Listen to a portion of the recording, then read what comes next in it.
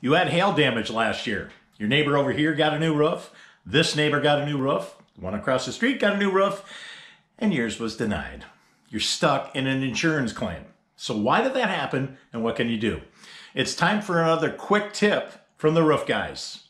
Talk to your neighbors. Find out who they have insurance with. If they use the same company, you have an advantage because that same company bought the roof next door.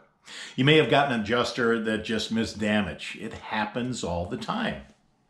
And if you signed up with the first guy that knocked on your door, they probably didn't care that your roof got denied because they've got 15 other roofs that did get bought.